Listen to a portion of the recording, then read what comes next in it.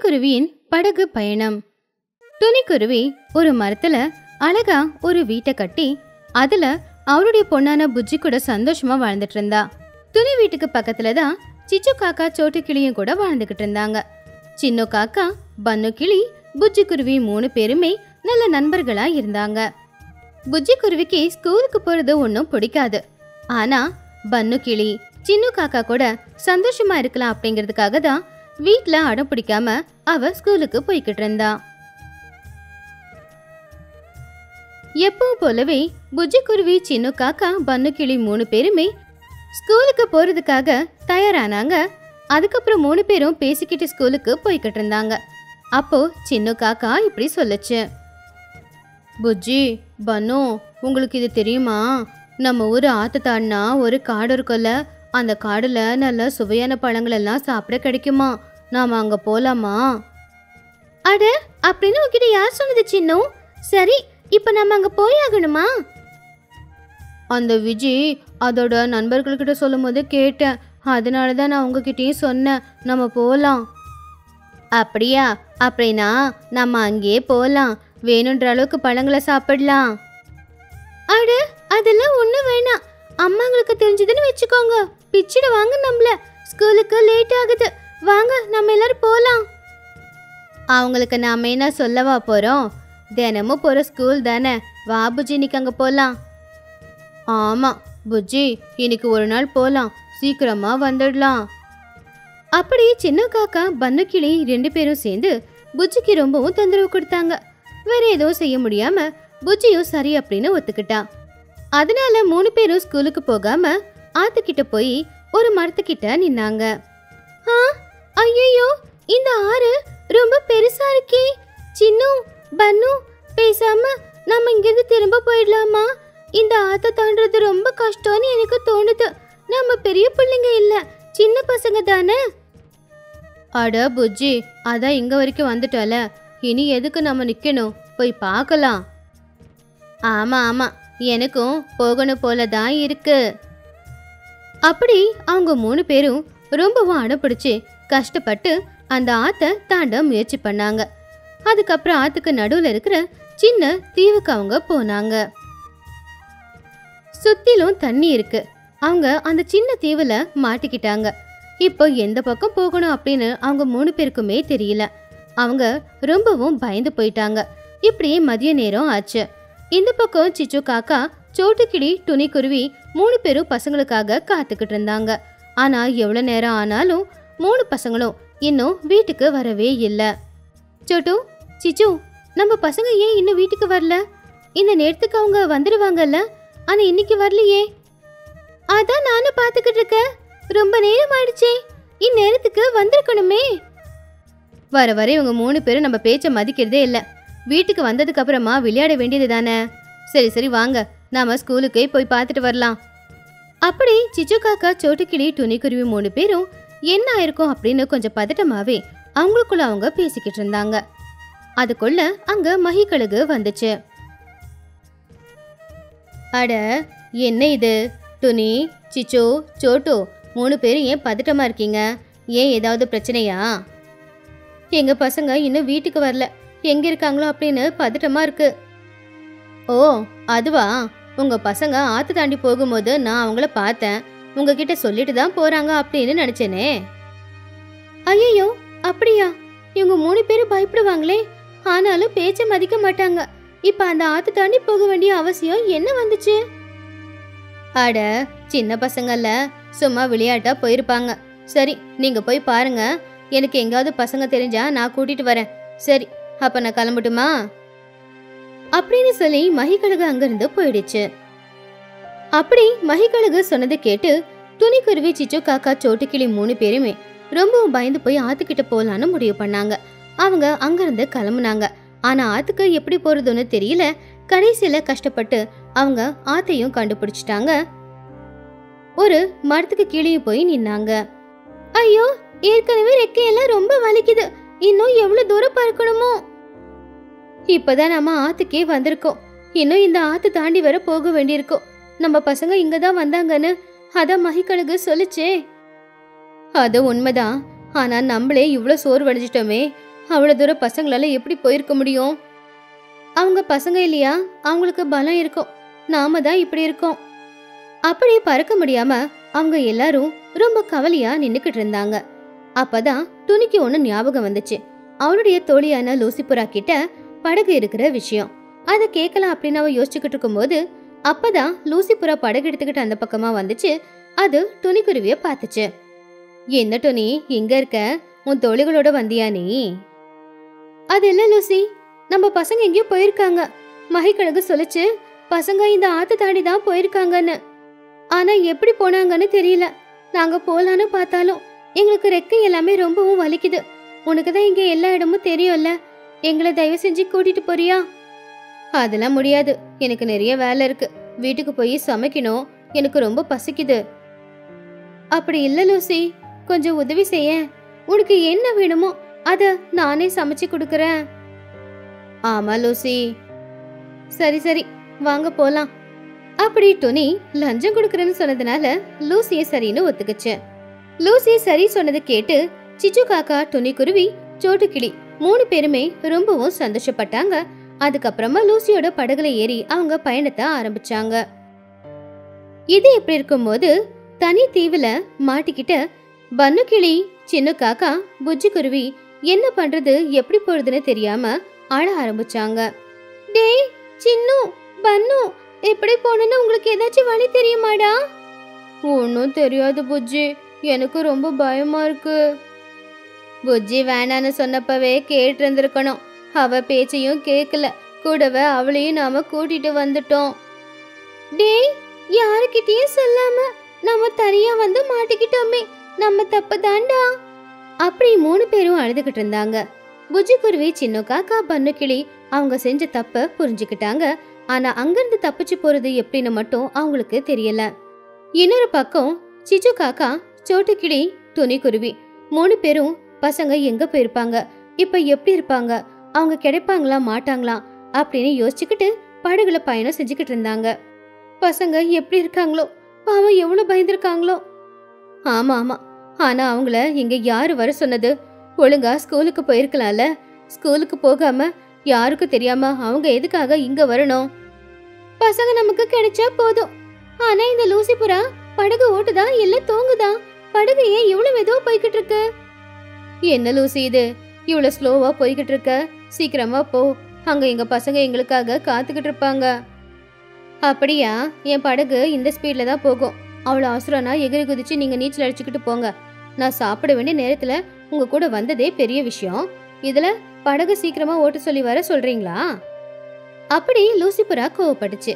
எதுவும் செய்ய முடியாம துணிக்குருவி சோட்டுக்கிளி சிச்சு காக்கா மூணு பேருமே அமைதியா உட்காந்துட்டாங்க அந்த நேரத்துல அதே ஆத்துல குஹு வாத்து ரொம்ப சந்தோஷமா பாட்டு பாடிக்கிட்டு போய்கிட்டு இருந்துச்சு. அப்போ துணிக்குருவி லூசி புறாவை படக நிப்பாட்ட சொல்லி அந்த பக்கமா வர குஹுவாத்துவுக்கு அவங்க பசங்க ஏதாவது தெரிஞ்சாங்களா அப்படின்னு விசாரிக்க ஆரம்பிச்சா. என்ன குஹு இந்த பக்கமா எங்க பசங்க வந்தத நீ பாத்தியா? ஆ ஓ பசங்களா? அவங்க யாரு? நான் யாரையுமே பார்க்கலையே குஹு குஹு கொஞ்சம் யோசிச்சு பாரு எங்க பசங்க எங்களை மாதிரியே தான் இருப்பாங்க. ஆ உங்கள் பிள்ளைங்க உங்களை மாதிரி இல்லாமல் வேற யார் மாதிரி இருப்பாங்களாமா? ஆ ஞாபகம் வந்துச்சு. கொஞ்ச நேரத்துக்கு முன்னாடி மூணு சின்ன பசங்க பறந்துக்கிட்டு பறந்துக்கிட்டு அந்த தீவு பக்கமா போறத நான் பார்த்தேன். ஓஹோ அப்படியா? சரி லூசி என்ன பார்த்துக்கிட்டே இருக்கே. அந்த தீவுக்கு படகு கொண்டு போ. ஆ ஆ, போலாம் போலாம். அப்படி சொல்லி லூசிபுரா அந்த தீவுக்கு படகு கொண்டு போச்சு. துணி சோட்டு சிச்சு மூணு பேருமே பசங்க கிடைச்சா போதும் அப்படின்னு கடவுள்கிட்ட வேண்டிக்கிட்டு இருந்தாங்க. உள்ளுக்குள்ள அவங்க பயந்துகிட்டே மெதுவா மெதுவா அந்த தீவை நோக்கி போய்கிட்டு இருந்தாங்க. அப்போ கொஞ்ச தூரத்துல அந்த தீவு இருக்கிறத அவங்க பார்த்தாங்க. அதோ அதோ தீவு தெரியுது பாரு. நம்ம பசங்க அங்கதான் இருக்கணும். ஆ ஆமா ஆமா. குஹு சொன்ன தீவு அதுதான். அப்படி அவங்க அந்த தீவுக்கு போனாங்க. அப்போ அங்க இருந்த சின்ன காக்கா பன்னு கிளி புஜ்ஜி குருவி படகு வரதை பார்த்து ரொம்பவும் சந்தோஷப்பட்டாங்க. துணிக்குருவி சோட்டுக்கிளி சிச்சு காக்கா மூணு பேரும் அவங்க பசங்களை பார்த்ததும் சந்தோஷத்துல கட்டி பிடிச்சாங்க. அதுக்கப்புறமா பசங்களை அவங்க திட்டுனாங்க. பசங்க எல்லாரும் அம்மாங்க கிட்ட மன்னிப்பு கேட்டாங்க. அம்மாங்களும் பசங்களை மன்னிச்சிட்டாங்க. அதுக்கப்புறம் அவங்க திரும்ப வந்துட்டாங்க. ரெண்டு பேரை கல்யாணம் பண்ண புஜ்ஜி குருவி. துணிக்குருவி பெரிய பணக்காரி. சின்ன வயசுல இருந்து பல கஷ்டங்களை அனுபவிச்சு அவ நிறைய பணமும் சம்பாதிச்சு இப்போ பெரிய பணக்காரியா இருந்தா. துணிக்குருவியோட பொண்ணு பேரு புஜ்ஜி குருவி புஜ்ஜிய துணி ரொம்ப ஒழுக்கமா வளர்த்துக்கிட்டு இருந்தா. புஜ்ஜி உன்னோட காலேஜ் படிப்பு எப்படி போகுது? அங்க ஏதாவது பிரச்சனை இருக்கா? உன்னோட காலேஜ் படிப்புல ஏதாவது பிரச்சனை இருந்தா என்கிட்ட வந்து சொல்லு. நான் வந்து பாத்துக்கிறேன். இல்லம்மா என் காலேஜ் படிப்புல எந்த பிரச்சனையும் இல்ல. நான் ரொம்ப நல்லா தான் படிக்கிறேன். நீ ரொம்ப நல்லா படிக்கணும். நம்ம கிட்ட நிறைய பணம் இருக்குல்ல? எப்படி வேணாலும் பொழைச்சிக்கலான்னு யோசிக்க கூடாது. படிப்பு தான் முக்கியம். உன்னோட படிப்பு பணம் சம்பாதிக்கிறதுக்கு இல்ல. எல்லாருக்கும் உதவி பண்றதுக்கு. ஆ சரி அம்மா எனக்கு காலேஜுக்கு டைம் ஆகுது. நான் போயிட்டு வரேன். அப்படி புஜ்ஜி குருவி அவளுடைய தோழியான சின்னி கிளி கூட சேர்ந்து கல்லூரிக்கு போய்கிட்டு இருந்தா. கல்லூரியில ரெண்டு பசங்க இருந்தாங்க. அவங்க ரெண்டு பேருமே ரொம்ப குறும்புக்கார பசங்க. அவங்க கல்லூரிக்கு வர பெண்களுக்கு நிறைய தொந்தரவுகளையும் கொடுத்துக்கிட்டு இருந்தாங்க. அவங்க தான் பன்னு கிளியும் சின்ன காக்காவும். புஜ்ஜி உனக்கு இந்த விஷயம் தெரியுமா? நம்ம காலேஜில் படிக்கிற பன்னு சின்ன கிளி பொட்ட பசங்களை கிண்டல் பண்ணிக்கிட்டு இருக்காங்க. லவ்ன்ற பேர்ல ரொம்பவே பொட்ட பசங்களுக்கு இம்சை கொடுக்குறாங்க. அதனாலேயே நிறைய பொட்ட பசங்க காலேஜுக்கு வர மாட்டேங்கிறாங்க இந்த மாதிரியான ஆம்பளை பசங்களுக்கு பாடம் படிக்க வைக்கணுமே தவிர எதுக்காக காலேஜ் விடணும்? அவங்களுக்கு பாடம் படிக்க வைக்கணும்னு எல்லாருக்கு தான் தோணுது. ஆனா அந்த மாதிரி பசங்க கூட யாரு தைரியமா நிப்பாங்க? அப்படி புஜ்ஜி குருவியும் சின்ன கிளியும் பேசிக்கிட்டு கல்லூரிக்கு போய்கிட்டு இருந்தாங்க. அப்படி போற வழியில அவங்க பன்னு சின்ன ரெண்டு பேரை பார்த்தாங்க. ஏ புஜ்ஜி நீ ரொம்ப அழகா இருக்க. உன்ன மாதிரி அழகா இருக்கிற பொண்ணு நம்ம காலேஜ்ல யாருமே இல்ல. ஏ புஜ்ஜி நீ உண்மையா ரொம்ப அழகா இருக்க. பாத்தியா இப்பதானே சொன்ன அதுக்குள்ளேயே வந்துட்டாங்க பாரு. ஆ மரியாதையா இங்கிருந்து கிளம்பி போங்கடா இல்லனா? ஆ என்ன பண்ணுவ? உன்னால என்ன பண்ண முடியும்? ஒன்னும் பண்ண முடியாது. வேணனா எங்கள ஒருத்தனை நீ காதலிச்சு பாரு. யாரா இருந்தாலும் பரவாயில்ல கண்டிப்பா காதலிக்கணும். ஆமா ஆமா. எங்கள ஒருத்தனை கண்டிப்பா நீ காதலிக்கணும். யார காதலிக்கிற?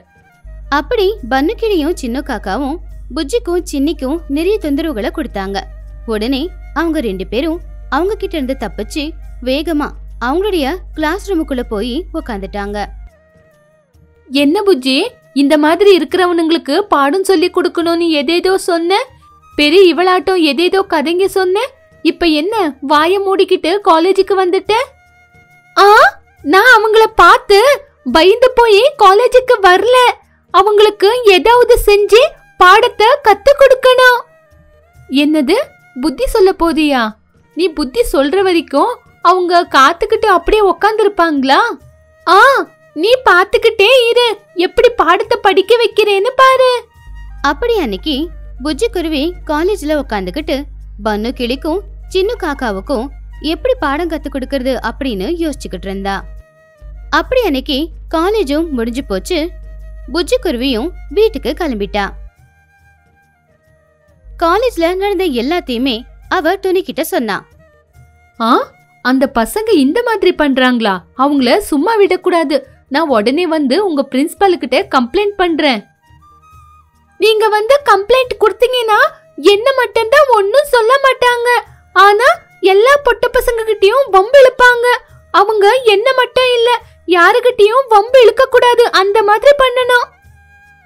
அப்படி புஜ்ஜி குருவியும் துணிக்குருவியும் சேர்ந்து ஒரு ஐடியா பண்ணாங்க.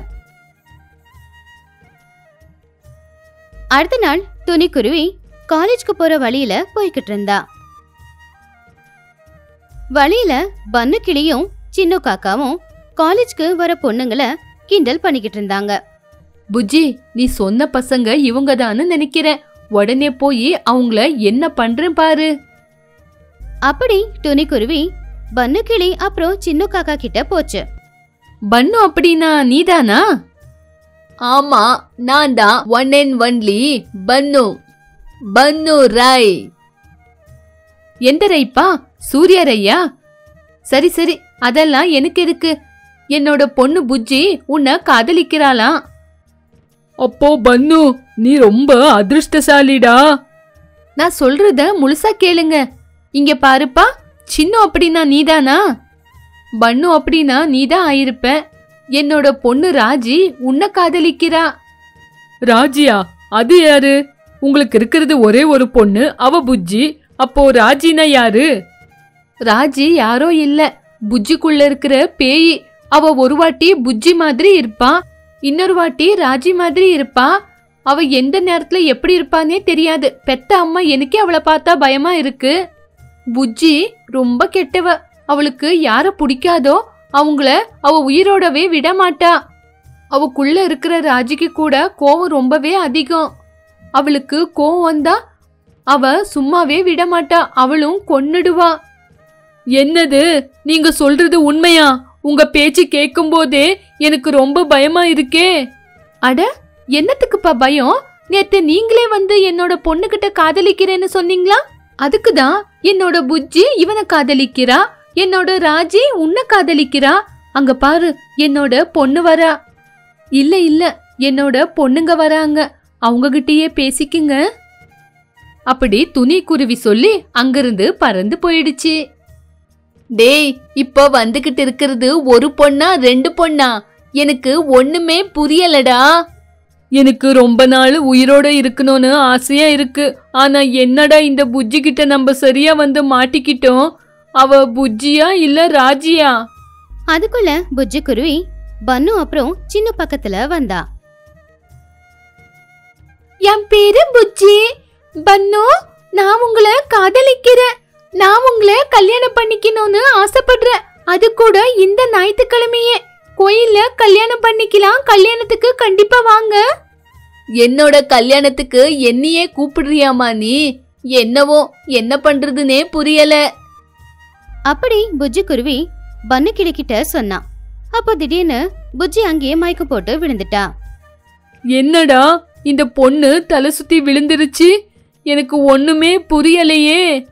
கொஞ்ச நேரத்துல புஜ்ஜி குருவி மறுபடியும் எழுந்திருச்சு. சின்ன காக்கா கிட்ட இப்படி சொல்லுச்சு.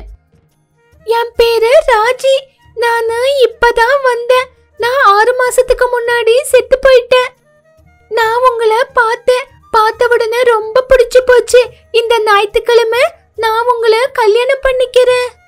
அப்படின்னு சொல்லி புஜ்ஜி குருவி அங்கிருந்து போயிடுச்சு.